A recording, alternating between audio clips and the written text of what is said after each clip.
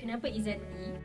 Okay, uh, sepanjang saya kenal Izzati Guilty, which is my roommate, Izzati seorang yang berdedikasi Nabi bermotivasi Cak Nik sekeliling. and dia tu di timbalan ketua batch tahun lepas. Dia tu memang seorang yang baik, bercita-cita tinggi senang berurusan Ling, mesra rakyat. seorang yang tolerate and then pandai manage timing. dan committed dalam kerja. akhlak terpuji Bijak berorganisasi. Seperti itu wajib difikir masa-masa veg. Masih dibahagi.